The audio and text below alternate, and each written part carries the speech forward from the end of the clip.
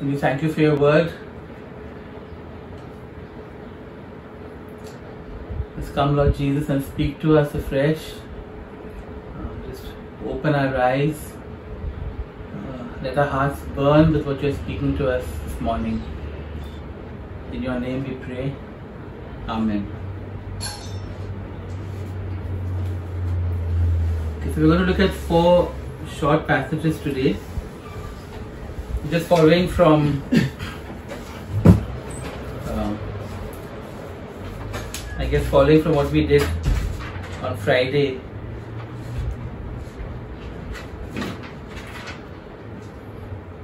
Where we looked at the Red Sea crossing. So we go to Exodus chapter 14. I'm going to read a few verses and then we'll talk about it. Okay, Exodus 14, I'm going to read first verses 1 to 4. Then the Lord said to Moses, Tell the Israelites to turn back and encamp near, near Pi Hahiroth between Migdol and the sea. They are to encamp by the sea directly opposite Baal Zephon. Pharaoh will think the Israelites are wandering around the land in confusion, hemmed in by the desert. And I will harden Pharaoh's heart and he will pursue them. But I will gain glory for myself through Pharaoh and all his army, and the Egyptians will know that I am the Lord. So the Israelites did this. And as a result, they are trapped between the Red Sea and the desert, no way to run. And Pharaoh and his army comes charging after them and have trapped them. Then, of course, as we know, the Israelites, as they always did, started grumbling and complaining and saying that God, you did all this just to bring us into the desert to die. Verse 21 And God speaks to Moses and tells Moses what to do. Verse 21 Then Moses stretched out his hand over the sea, and all that night the Lord drove the sea back with a strong east wind and turned it into dry land. The waters were divided, and the Israelites went through the sea on dry ground with a wall of water on their right and on their left. And then we know that after that the Egyptians came after them, but the water collapsed onto them and they were all, the entire army was drowned. Verse 29 But the Israelites went through the sea on dry ground with a wall of water on their right and on their left. That day the Lord saved Israel from the hands of the Egyptians, and Israel saw the Egyptians lying dead on the shore. And when the Israelites saw the great power the Lord displayed against the Egyptians, the people feared the Lord and put their trust in him and in Moses, his servant.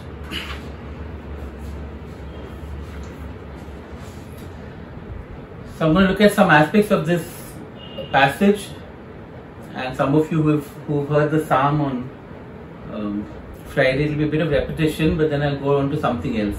Okay, so we see here a crisis, but the crisis is engineered by God Himself. There was a perfectly nice route to Canaan from Egypt. There was even a perfectly nice route to Midian, to Mount Sinai, where God wanted to take them. But instead, He takes them on a completely wrong road and brings them to a place where they are trapped. Now, the crisis is engineered by God, but presumably centuries earlier or millennia earlier, He has also provided the solution.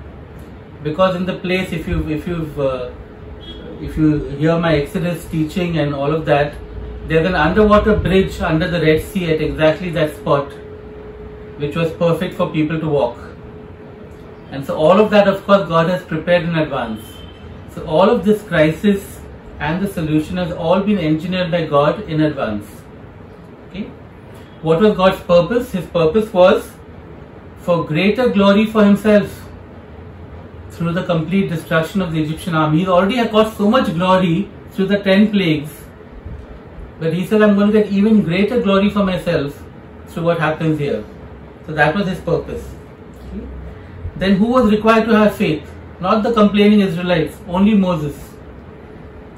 God said, Moses, you lift up your staff and I'll do the rest. So Moses alone was required to have faith. Okay.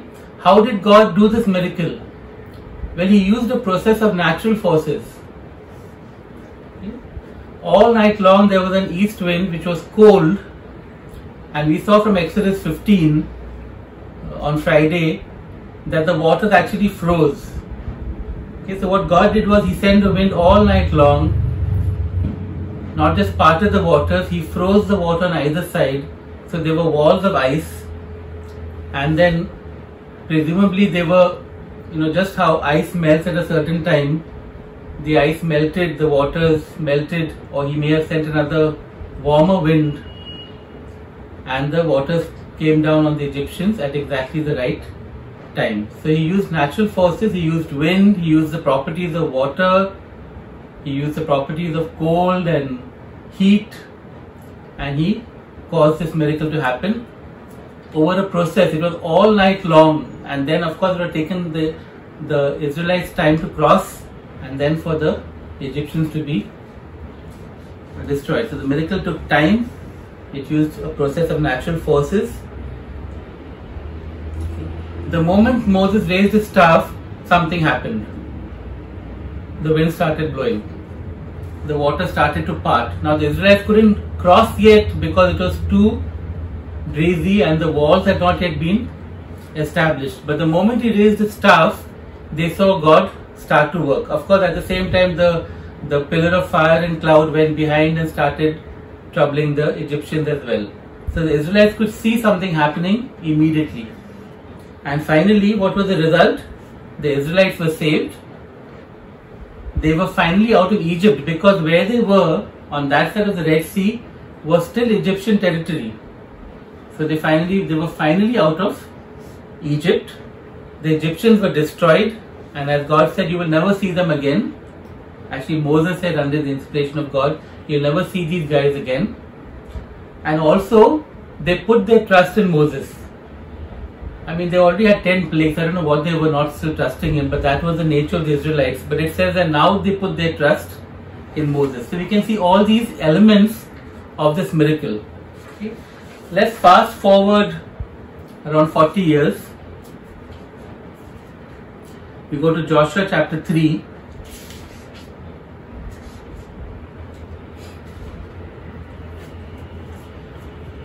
And after 40 years, they've they're now at the edge of the promised land, but between them and the promised land is a river that is in flood, the river Jordan. So now imagine your, your imagine your Joshua. You see the river in flood. They're supposed to cross over. What would you think? Oh, God is going to do what He did last time. You know, last time we went to the Red Sea, I, uh, Moses raised his staff all night long. The wind blew. There were walls of water on either side. We crossed over. My topic today is this: Our God is a creative God. He doesn't do the same thing again. And Joshua can't depend on him to, can't say, take it for granted. God's just going to do the same thing again. God does something completely different. And now you those who know your Bible know where I'm going with this. So Joshua chapter 3. I'm going to read a few verses. I mean, first read verses 7 to 8. And the Lord said to Joshua, Today I will begin to exalt you in the eyes of all Israel, so they may know that I am with you as I was with Moses. Tell the priests who carry the ark of the covenant when you reach the edge of the Jordan's waters, go and stand in the river. Then verse 14. So when the people broke camp to cross the Jordan, the priests carrying the Ark of the Covenant went ahead of them. Now the Jordan is at flood stage all during harvest. Yet as soon as the priests who carried the Ark reached the Jordan and their feet touched the water's edge, the water from upstream stopped flowing it piled up in a heap a great distance away at a town called Adam in the vicinity of Zarethan, while the water flowing down to the sea of the Arabah was completely cut off. So the people crossed over opposite Jericho. The priests who carried the Ark of the Covenant of the Lord stood firm on dry ground in the middle of the Jordan while all Israel passed by until the whole nation had completed the crossing on dry ground. And finally, chapter 4, verse 14. That day, the Lord exalted Joshua in the sight of all Israel, and they revered him all the days of his life, just as they had revered Moses.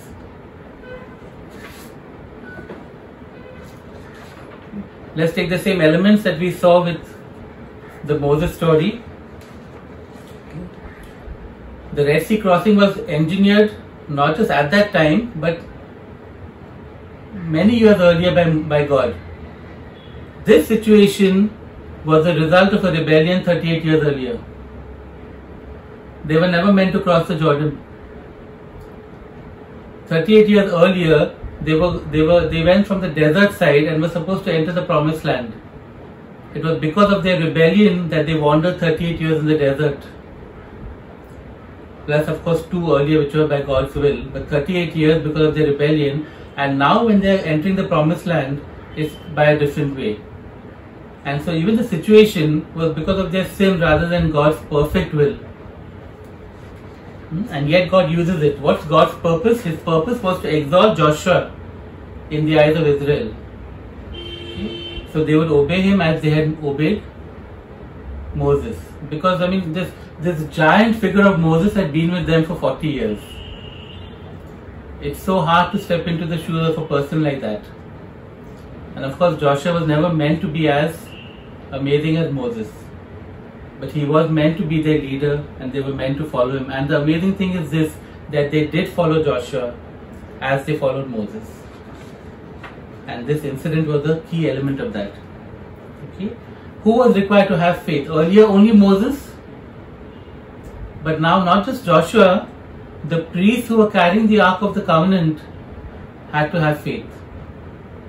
Okay? They had to exercise faith. It's quite interesting. They had to exercise such faith. They had to step into a river that was at flood.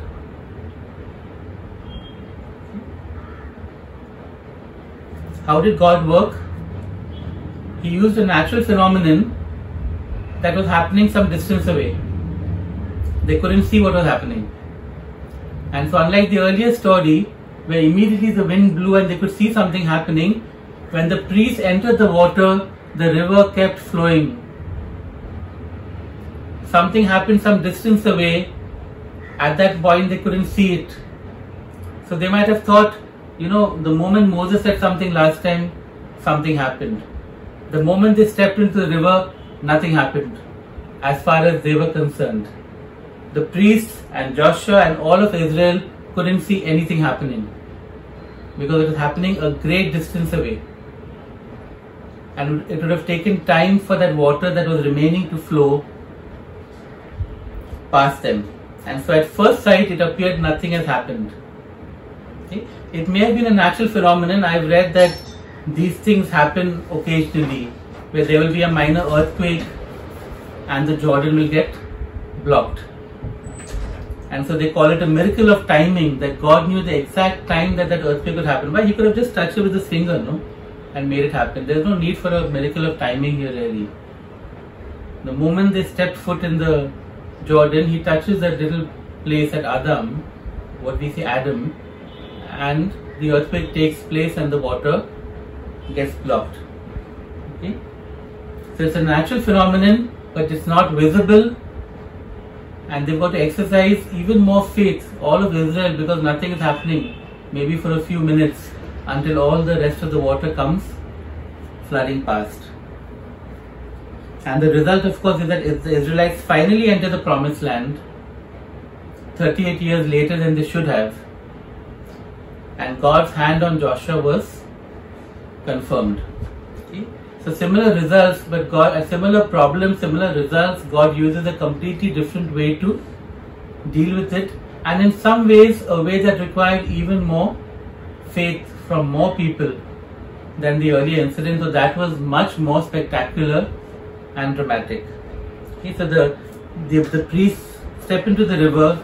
It's flooding all around them. For the, for the next few minutes, They've just got to have faith that what God said He will do, though it doesn't seem like anything is happening, and then the river just stops and it's complete dry land Then they go and they stand in the middle of the river.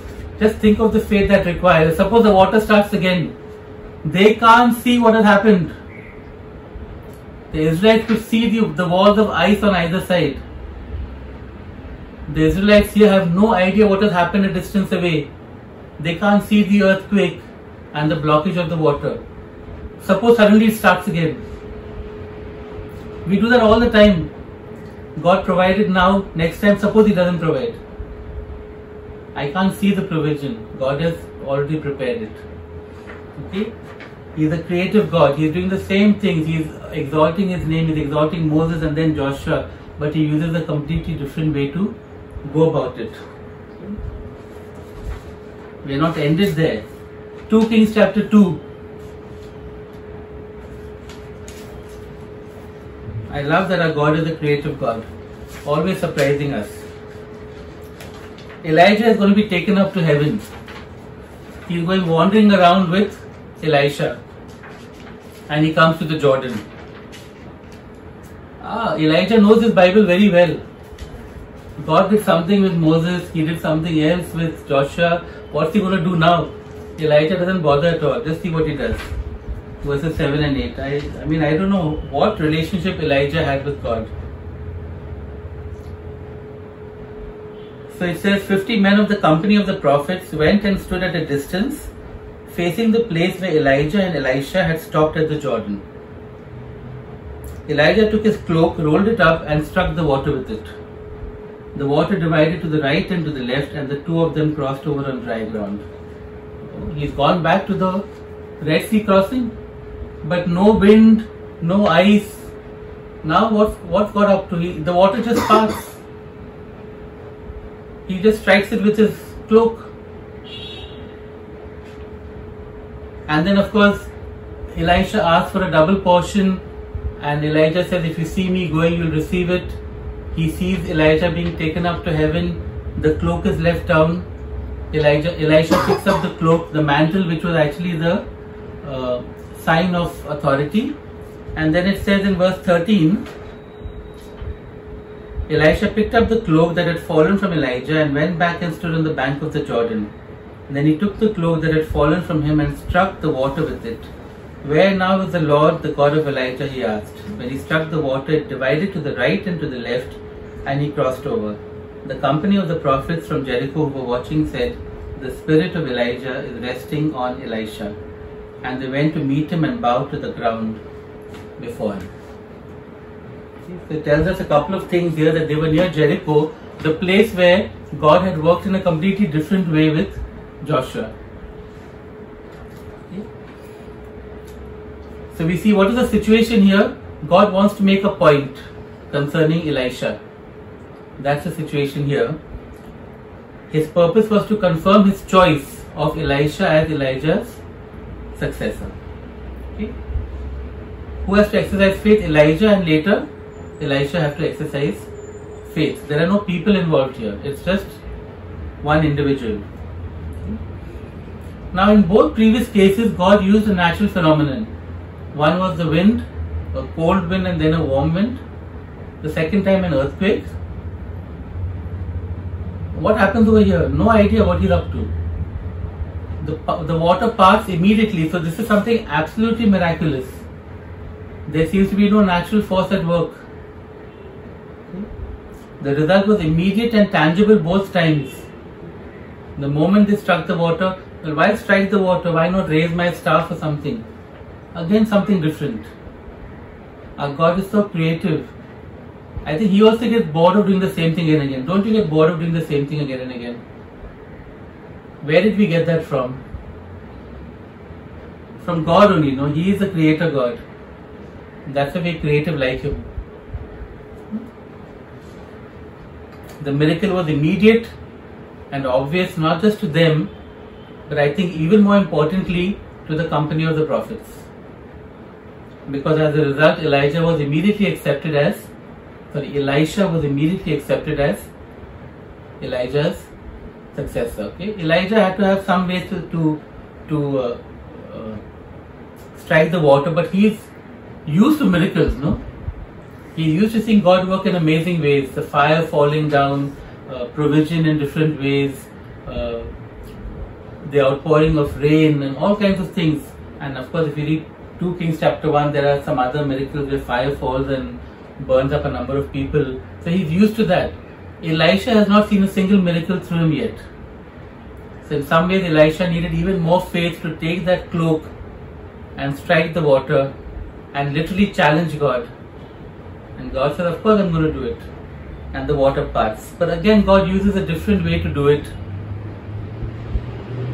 to do the same miracle. And this is the same spot, probably, where Joshua and his people crossed over some time ago. I mean, centuries ago, of course. Okay, so that's the third thing. Hmm? Are we done with waters parting? Yes, we are. But there's one more incident where somebody had to cross on water and had no way to do it. Some bright people have got it. It's in Matthew chapter 14. And so Jesus needs to cross the lake.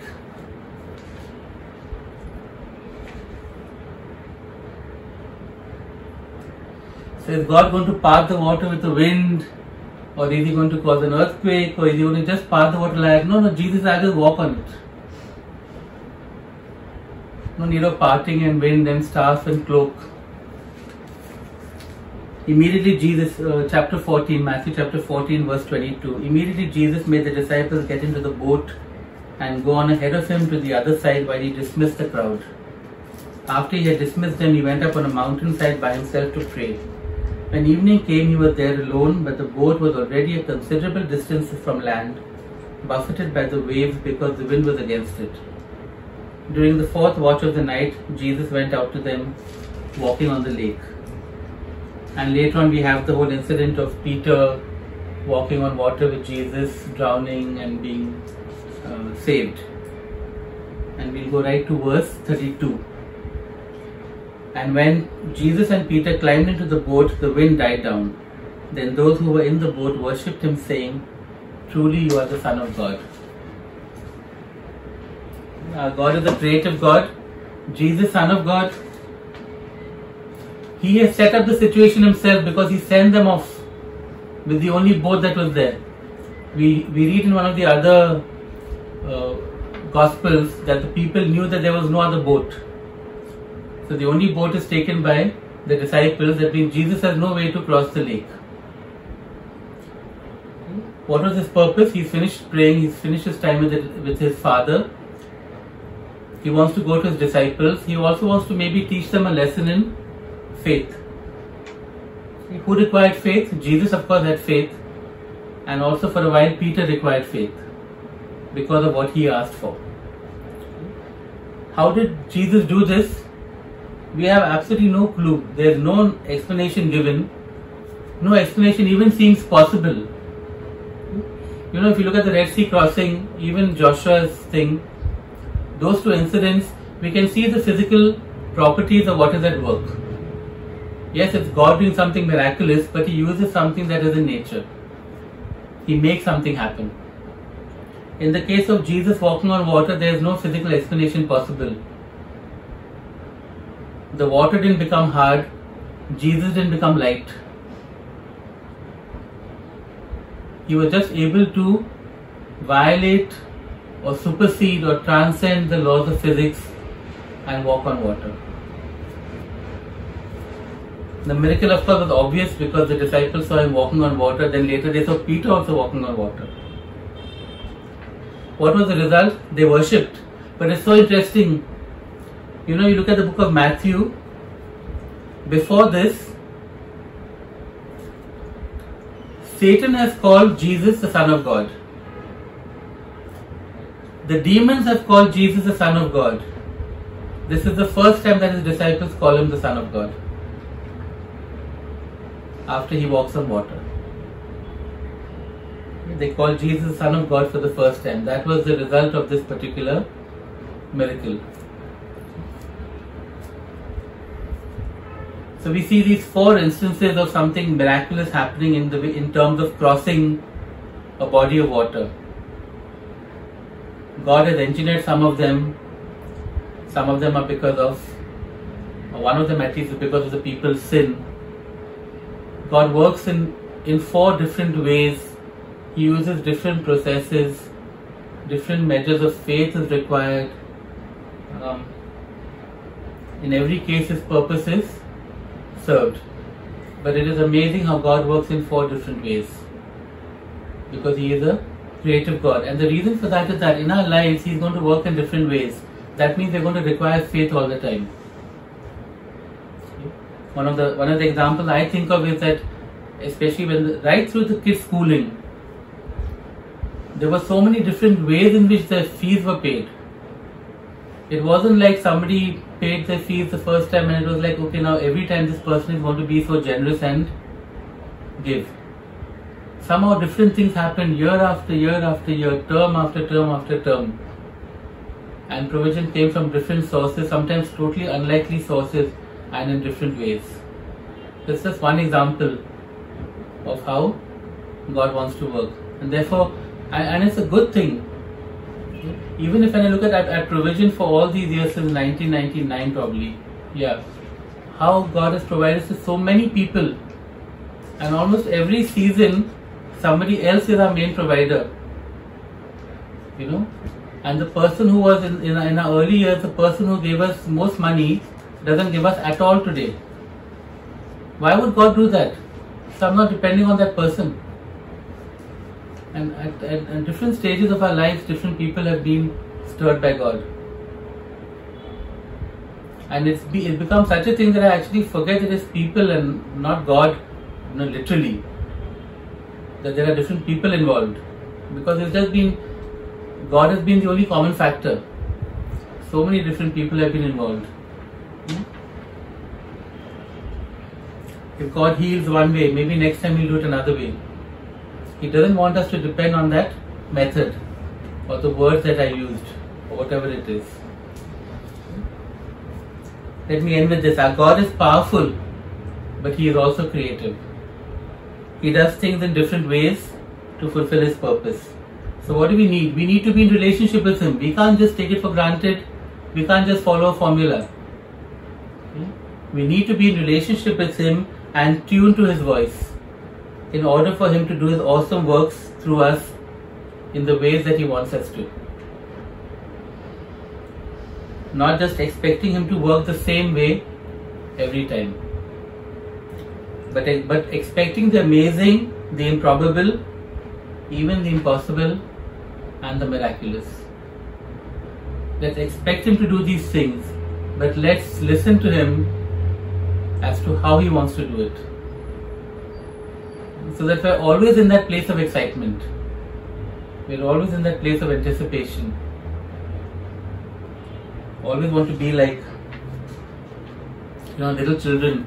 I, I, as I say this, I think of this uh, really old guy. He doesn't look so old. The guy called Sid Roth on YouTube. And, and he's a pretty strange character. But the thing about him is, he's so excited all the time. I mean, he must have been doing this TV show for decades, I suspect. It's called It's Supernatural. And he talks to people about miracles and prophecies and all. And you can see he's literally jumping out of his chair in excitement. Every time somebody gives a prophecy or somebody uh, says this happened, he must have heard so many such stories. But he's not jaded. He's, he's not taken for granted. He's just super excited all the time about what God is up to. And I think that because God is always surprising us, He's always surprising Him. He's a creative God. He's doing amazing things all the time and He finds different ways to do them. And we want to be part of that process. We want to be part of that uh, thing that God is up to. Okay? So let's believe God for amazing things. But let's uh, be tuned into Him so that when He tells us how He's going to do it, what He wants us to do, we can, you know, we can be obedient we can listen to his voice and we can be in that place. Whether it's the raising of the staff or the stepping in the water or the whatever hitting the water with the cloak or just walking on water. And i'm sure over the centuries people have had to cross bodies of water and god has done some amazing things. And in different creative ways they have got to cross the water? Let's pray. We thank you, Lord. We, we thank you that you're such an amazing God. We thank you that you're also so creative, that you love to surprise us.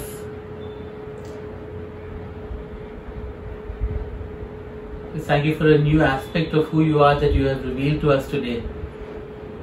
I pray now, Lord, for ears to hear your voice, just to be tuned into that frequency, Lord, and the faith to do the things that you will tell us to do, and to believe for awesome, amazing, incredible works in our lives and through us, Lord. We pray this in Jesus' name. Amen.